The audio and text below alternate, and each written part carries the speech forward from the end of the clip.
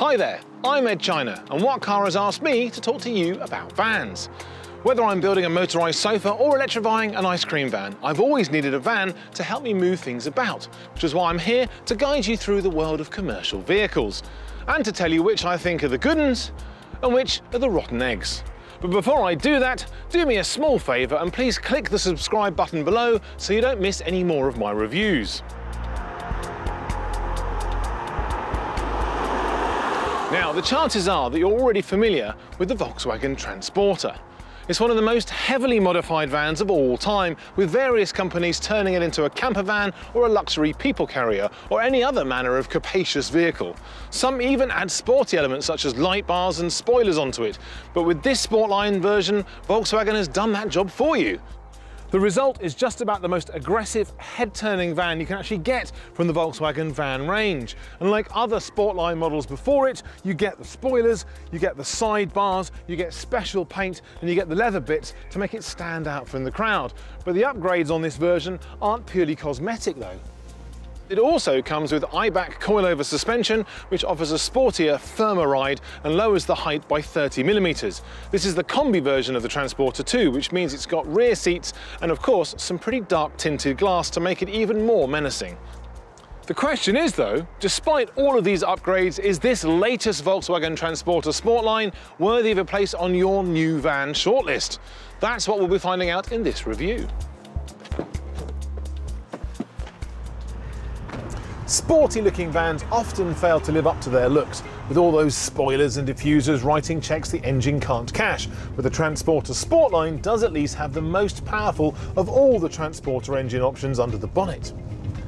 It's a 2-litre diesel engine which produces 201 brake horsepower and is paired up with a 7-speed dual-clutch automatic gearbox as standard.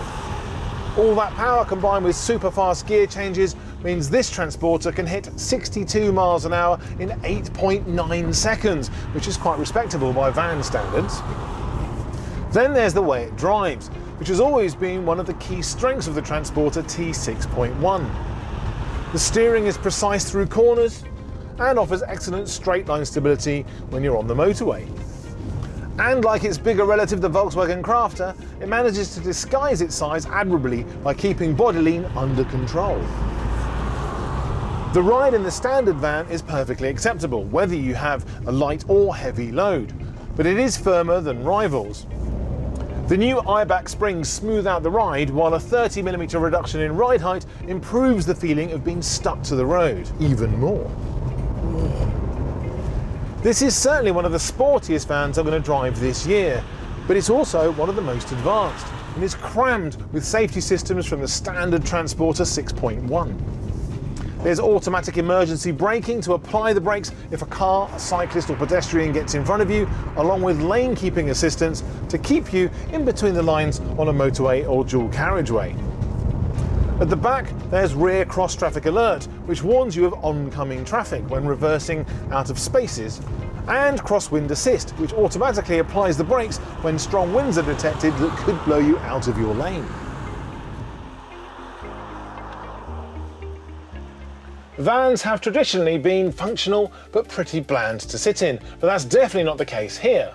The regular Transporter is both comfortable and well equipped, and this Sportline Black Edition version takes that to a whole new level with loads of leather and suede trim, contrasting stitching, and glossy bits of plastic to liven up the interior. There's even a new digital instrument cluster, which does a great job of putting the most useful information right in front of you. There's also a central infotainment touchscreen which offers all the usual features you'd expect, including a DAB radio, sat-nav or smartphone mirroring, and in its largest form it measures up to 9.2 inches. Because this version of the Transporter is actually a combi van, you get two rows of seats. That still leaves you plenty of space around the back. And in fact, you have a hatched tailgate rather than the conventional double barn doors. But look at that space, it's wonderful. Short wheelbase vans have 1.6 metres of length with up to 4.3 metres cubed of load volume, while long wheelbase vans have just less than 2 metres of length in cargo area and a volume of 5 metres cubed. There's 1.2 metres in width and 1.4 metres in height available too. Payload for the short wheelbase van is just over 1 tonne at 1,039 kilograms, while the longer versions can take up to 967 kilograms. There's no doubting that this Transporter Sportline is a special van that's going to really get you noticed. And because a van is for most people their own mobile business card, that's definitely no bad thing. People are going to remember you and your van. Yes, the Transporter Sportline is an expensive choice, but it's certainly a stylish one. Add to that that it's practical, good to drive and comfortable to spend time in, and I'm giving it the Ed Factor seal of approval. What car agrees too, because it's awarded the regular Transporter T6.1 four stars on its road test. Want to see more van reviews from me? Then subscribe to the What Car YouTube channel. You'll see each of my new reviews as soon as they're released. And in between, you'll also get to watch other reviews by the lovely people at What Car.